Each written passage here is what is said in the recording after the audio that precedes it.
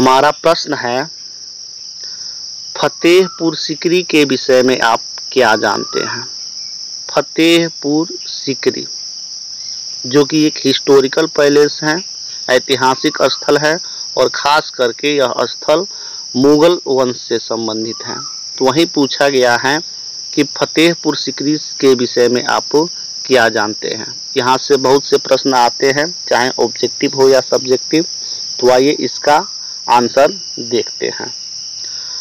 फतेहपुर सिकरी, उत्तर प्रदेश में आगरा के समीप, अकबर द्वारा बनाई गई नवीन राजधानी थी। अर्थात, फतेहपुर सिकरी का अगर लोकेशन देखा जाए तो वह उत्तर प्रदेश में, आगरा शहर के समीप में है और अकबर के द्वारा बनाया गया यह नया राजधानी था। यानी अकबर ने फतेहपुर सिकरी को अपनी राजधानी बनाकर वहाँ पे शासन किया था। 1570 ईस्वी में इसका निर्माण कार्य पूरा हुआ था और इसका निर्माण कार्य कब कंप्लीट हुआ तो 1570 ईस्वी में।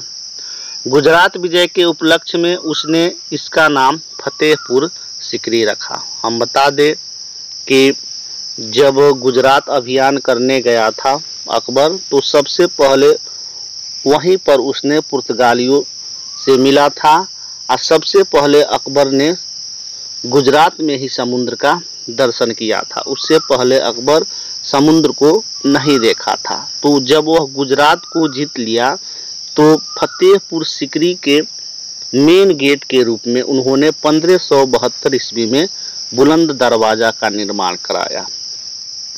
अबुल फजल के शब्दों में, अबुल फजल जो मुगल कालीन एक इतिहासकार था।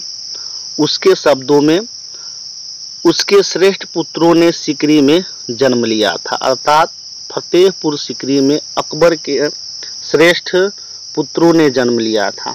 तथा शेख सलीम की दिव्य ज्ञान युक्त आत्मा उनमें प्रविष्ट हो गई थी। यानी कहने का मतलब है, अकबर का उत्तराधिकारी जहांगीर हुआ। जहांगीर का बचपन का नाम सलीम था और सलीम नाम क्यों रखा गया?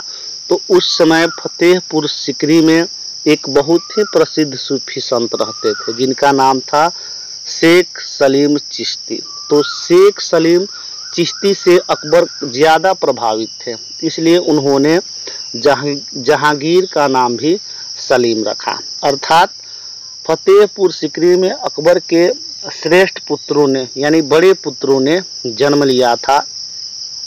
और ऐसा माना जाता है कि जो शेख सलीम चिश्ती थे, उनकी दिव्य ज्ञान, युक्त आत्मा उनके पुत्रों में प्रविष्ट हो गई थी, यानी प्रवेश कर गई थी। अतः अकबर ने पवित्र हृदय में इस आध्यात्मिक स्थान को सुंदर रूप करने की इच्छा प्रकट हुई।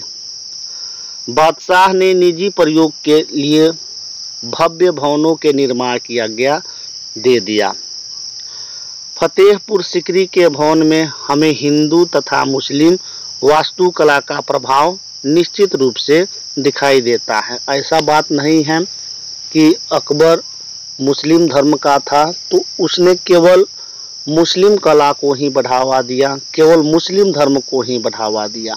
ऐसा बिल्कुल नहीं था, बल्कि अकबर सभी धर्मों में सामंजस्य स्थापित करना चाहता था और इसका प्रभाव आप फतेहपुर सिकरी के जो भी भवन हैं, वास्तुकला है, उसमें देख सकते हैं। उसमें हिंदू तथा मुस्लिम वास्तुकला का प्रभाव, दोनों का प्रभाव या तो मिक्स, मिश्रित रूप में मिल सकता है या अलग अलग रूप में दर्शाया गया है। तो उम्मीद है कि आपको यह वीडियो पसंद आया होगा। तो वीडियो पसंद आया है तो चैनल को सब्सक्राइब करके बेल आइकन को प्रेस कर दें ताकि इसी तरह का वीडियो आपको समय समय पर मिलता रहे। धन्यवाद।